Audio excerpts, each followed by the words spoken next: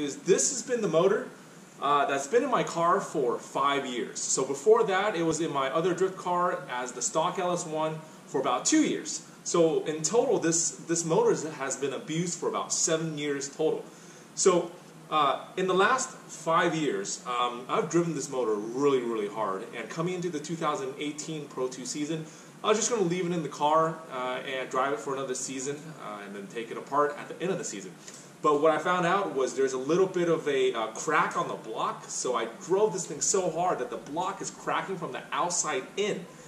Uh, so let's uh, let me show you guys how to disassemble a LS1. This is uh, this has got some aftermarket hardware like the ARP head studs, uh, ARP main studs. So it's going to be a little different, but for you guys at home, starting out with the stock LS1, the process is going to be identical. First things first, we're going to take off the manifolds. It's a real straightforward process. Um, these manifolds are by Hooker.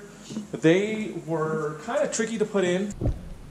All right, shout out to my good friends at DeatschWerks. Uh, they've been supporting me since I was in Pro-Am in 2013, so they're really good injector companies. All my cars run their injectors, and I've had nothing but great experiences. So next time you guys are shopping for injectors, hit up DeatschWerks, tell them Spike sent you, um, and they'll be able to help you guys out. The first thing to do right here is to disassemble the exhaust manifold. It's really straightforward. It's basically just four, uh, five 10 millimeter bolts.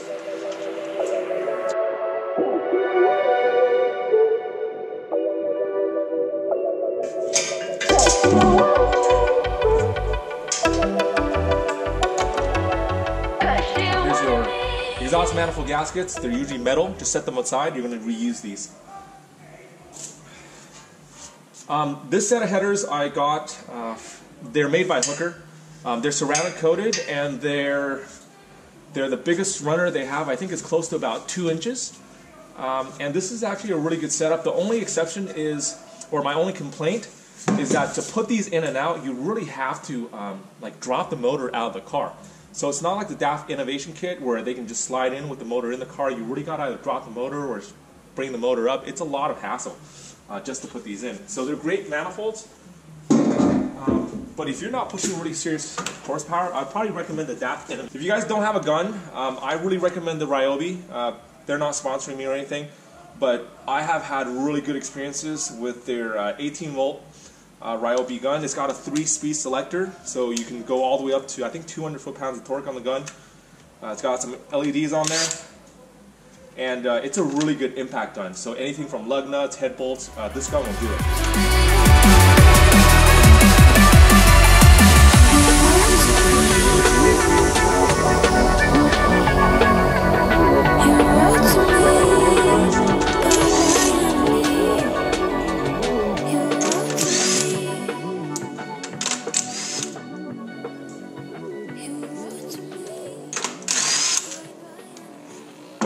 Plugs out, just take a quick look at them and see what the condition of your plugs are. They should be nice and brown. So this one here would be a good example of a good burn. Nice and brown. These ones are all pretty white. Maybe they're a little bit lean. And then you can see some speckles on there. Maybe that's detonation. But uh, we'll tell once we pull the motor, uh, once we pull the heads off.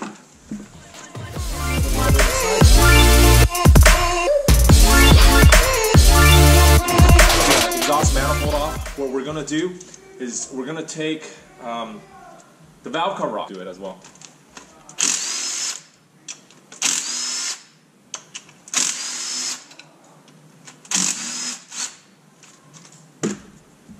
So. So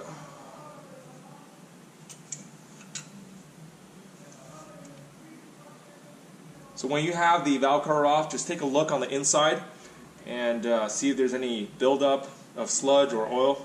This one looks pretty clear. I welded a baffle here because I had a uh, I had an exit port for the blow-by, so I welded a baffle and it kept the oil from spraying over. So uh, valve cover looks good. The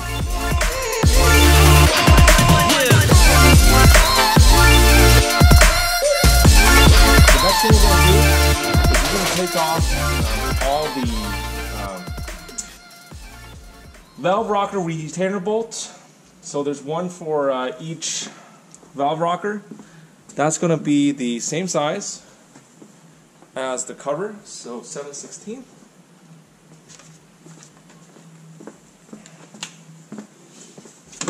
And I know there's a a spec or a certain pattern. Frankly, I've never done it, so I just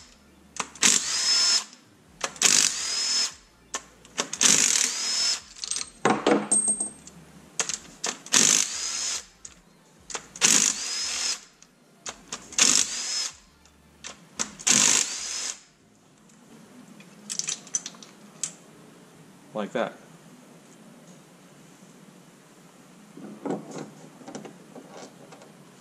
Okay, so what happens is um, this is the push rod.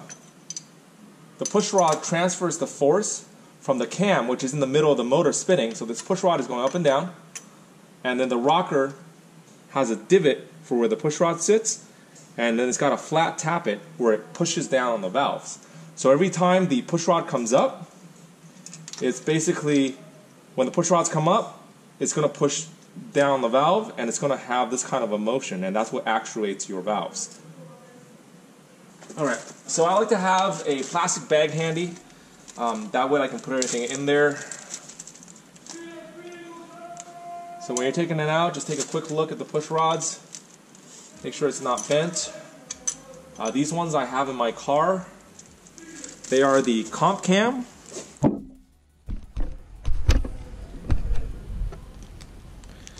You guys can see them.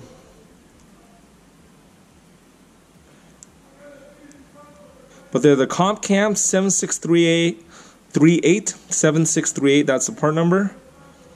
Uh, Comp Cam magnesium push rods. And these are stock length. I think these you can get them for about $100 or $120 a set.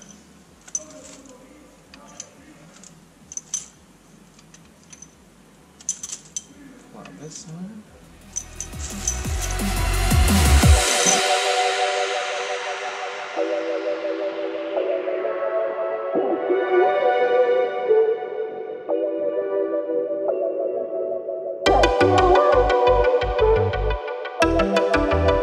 So the process to, to taking off the heads is we got uh, five 10 millimeter bolts up top, and then we have uh, five sets of bigger uh, head bolts on the bottom. These are all APR hardware. The first thing we're going to do is we're going to take off these five bolts up top and they're all 12 point so you'll have to use a socket like that. You can't use a 6 point socket or else it won't work.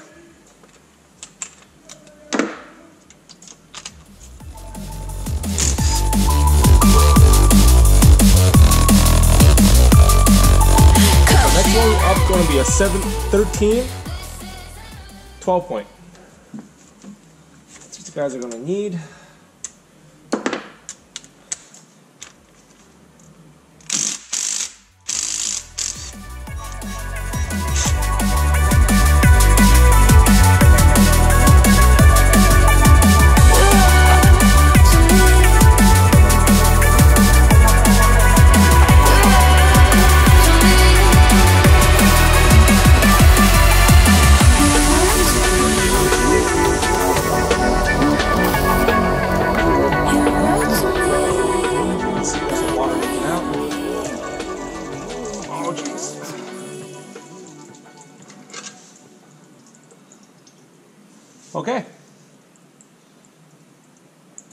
Here's the head.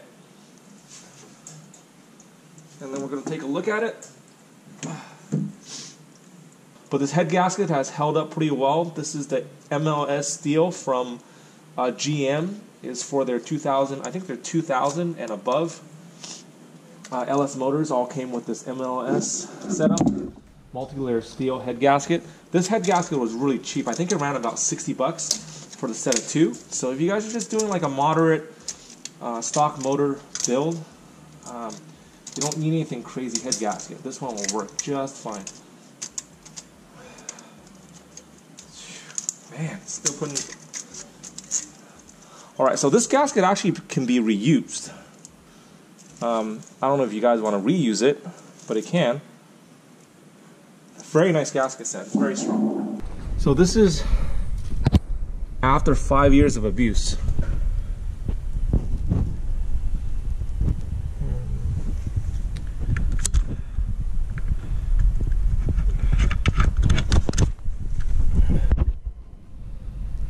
Right, so that's after five years. I would say that's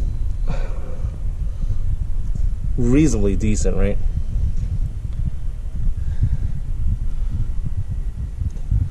So at 16 pounds on E85, there's no signs of detonation. Uh, usually detonation, you'll see little speckles or you'll see little pits on the head. Heads look like they're actually in extremely nice condition. If you have detonation, what you're gonna have in here is you're gonna have like a bunch of little pits, right? It, it looks like somebody took a screwdriver and they just went boom, boom, boom, boom, boom, and just pounded in little pits. So, so far, it looks like there's uh, no real issues on the quench zones. Um, the quench zone are the flat parts of the head. That's where when the piston come up, it doesn't quite touch it, but it flushes the air and it makes it swirl. So these are quench zones. So everything looks pretty good. The hell looks good for five years. Um, and, and you see how clean this block is? So don't change your oil too often. No, just kidding. But I haven't needed to change my oil that often. And it looks very clean.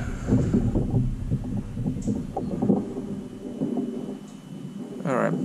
But do use a um, do use a rust inhibitor like uh, water wetter. I sometimes run it with just water and it does get rusty and all the rust does impede the transfer of uh, heat from the head to the water.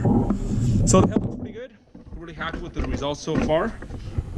Um, haven't seen any real issues. So pretty blessed. Looking good after five years. Oh, we're gonna put this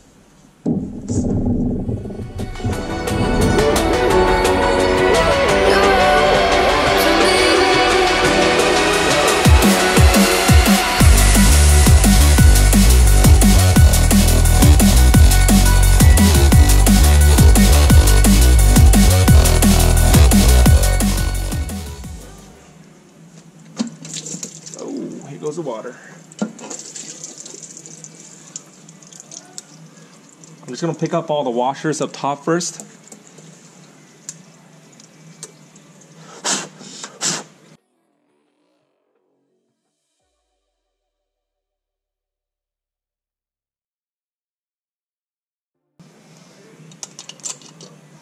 go.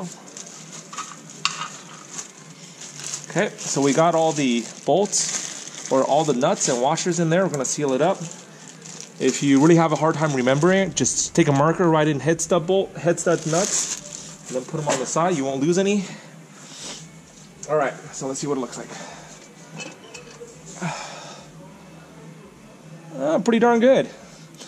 Right, another thing you should do is put some rags. So I have paper towels in my cylinder heads. Uh, it's it's not in on the intake. I have paper towels on the intake. It's not so important when you're pulling off the heads, but if you're working on the car and you have to top end off, this can save your ass because then you don't have any bolts or anything falling into the head. All right, let's look at the cylinders. All right,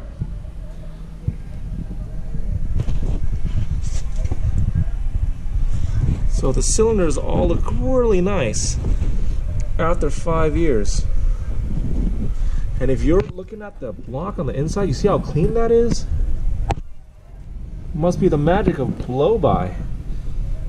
you get crazy ethanol washing down your your motor, that's what happens. Now, I don't know if it's well, I just use uh I actually use Royal Purple because I read a review that it did really good um, against uh, bearing on bearing contact. Uh, so I've been using Royal Purple for the last seven years and I really haven't blown anything up. Uh, the one time I didn't use Royal Purple, I did blow something up. And then so here's the heads. Um, as you can see, everything is pretty clean. Seems to be a lot of wetness. Maybe it's all the maybe I have a lot of oil in there, maybe like an oil uh, control ring issue. I did gap the number one and two rings really big for nitrous and booze, so I have a lot of blow-by issues, but uh, the motor seems to be okay. Super clean, right? It actually looks like it's brand new. Um, I wouldn't even wash it if I was going to reassemble this. Okay, so that's good news. The motor is pretty healthy. Uh, so the motor is pretty healthy. Um, it's really clean, and I, and even if I didn't tear it down, I think this would have been a really nice setup. I could still drive on this for probably years. But the problem that I do have is I got this hairline crack right here on the block, so water is actually leaking out. And um, I'm thinking the problem is with this mount because it's Daft Innovation mount. It, it only uses four of the six mounting holes. So I'm thinking maybe there's a lot of stress on the back right here twisting this motor. So next time I would probably use a motor, uh, like a motor plate that uses all six holes. So it's gonna give this motor a lot more structural integrity and that probably wouldn't have happened. And I would have probably been dr driving on this car for a lot longer. Um, so yeah, this was doing uh, five years of at least um, 16 pounds on 15 16 pounds on a smaller blower and then 15 16 pounds on the tvs 2300 this is going to be the end of today's episode. I'm going to put this up on youtube so you guys can watch it. Subscribe to the channel uh, click on the bell to get notifications when i post new videos and give this video two thumbs up. Um, we're going to be taking the rest apart tomorrow and you guys are going to see what the bearings look like because the car has been uh, heavily used with E85 fuel and there's a lot of blow-by since the gaps are big. So maybe there's bearing issues that you know we're, we're not aware of. Uh, plus, I haven't changed the oil that often, so seven, seven, eight times in the last five years isn't a lot, you know. Uh, so everything looks good. The cylinders are really nice. Pistons look super bomb. I could put them back in another car, no problem whatsoever. Uh, the heads are clean. Um, no detonation at 16 pounds, 18 pounds. I've gone up to like 21 pounds. That's that's the craziest time, right? When the supercharger pulley hooks up, the boost goes through the roof. Uh, so I'm excited to get the rest of, rest of this torn down tomorrow and share with you guys. Uh, so stay tuned. Appreciate the like, share with your friends on Facebook, and uh, let's see what we can do, alright? Thank you so much for watching. Spike Chen out.